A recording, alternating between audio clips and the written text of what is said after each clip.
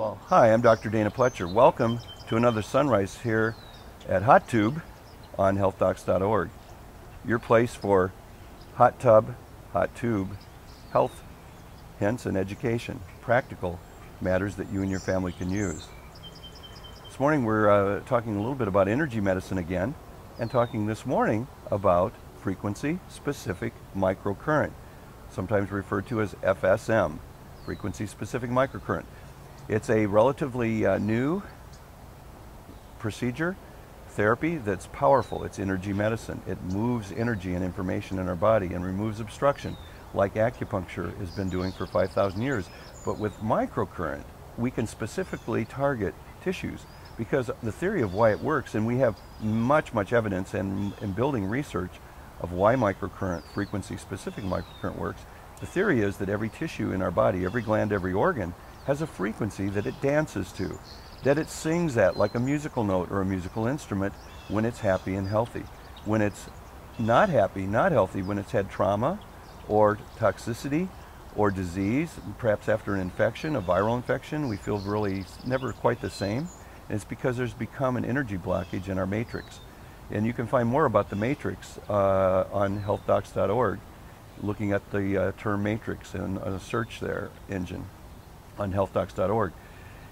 The uh, matrix is that system of connective tissue that's our fascia, which you may have heard about, our muscles, tendons, bones, all the connective tissue. Everything that's not a cell in our body, which we have trillions of cells, everything that's not a cell is connective tissue, the matrix, the living matrix, like the movie. And this matrix carries information and energy. It's a biocomputer, it's a semiconductor. It looks like silicone quartz in nature, like we use in computers to process, store, and transfer information. So our body does that through the matrix. And can you imagine if the body becomes gunked up, if that system becomes obstructed? It's like having a virus in our computer. Instead, we've got a virus in our living matrix. It's like having uh, gunk on your uh, hard drive, in your laser printer, uh, your laser in your DVD uh, player and recorder it's going to mess up the information. And our body stores toxins that it thinks, well, maybe where should I put this poison? Hmm, brain? Uh, not the best idea. Heart? No, not so good either. Uh, let's put it in the matrix between the cells, which for a while works. But uh, each year we're on this planet, we store more and more toxic products, whether they're ones we've produced or ones that come from the outside in the environment. In fact, never seen before by nature molecules called drugs, prescription drugs, never seen before by nature molecules, are stored in the matrix.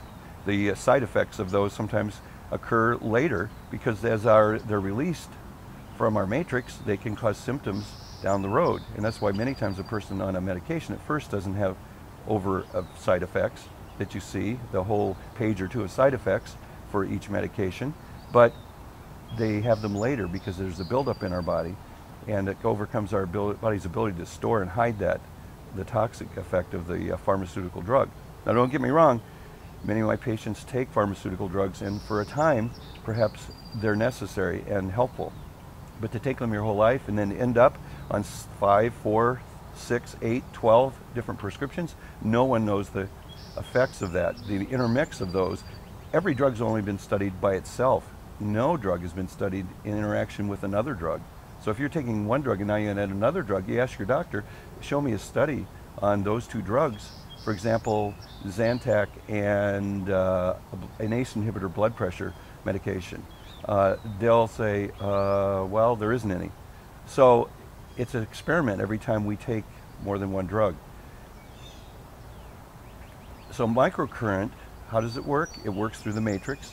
It actually releases toxins stored in the matrix. That's one of its effects, but it sends information through the matrix to the pancreas. There's frequencies for the pancreas. There's a specific frequency. It dances. We'll call it, say, like 256 hertz, uh, for example. That's the middle C on the music note scale. And if uh, the uh, orchestra is off key when they tune up, their instruments, the it won't be a symphony, it'll be a discord, and we won't want to listen to it. In our body, same thing happens when, say, the pancreas is off key, maybe our adrenal glands probably most likely off key because our adrenal glands are where all stress goes. We'll talk about that on another health tube, uh, hot tube event here. So getting back to microcurrent, it works to send specific frequencies. So if we have a concussion, for example, the only thing I know of that helps remove concussion from the body is microcurrent. There are specific frequencies for the brain and for concussion that help us re, re, uh, restore and uh, rejuvenate from a concussion, which a concussion may affect us the rest of our life if it's not taken out of the body. In fact, probably will. In fact, uh, one of the studies in 1983 was a cancer study. It was in Scientific American that uh, the uh, title or the gist of it was Cancer, a wound never healed.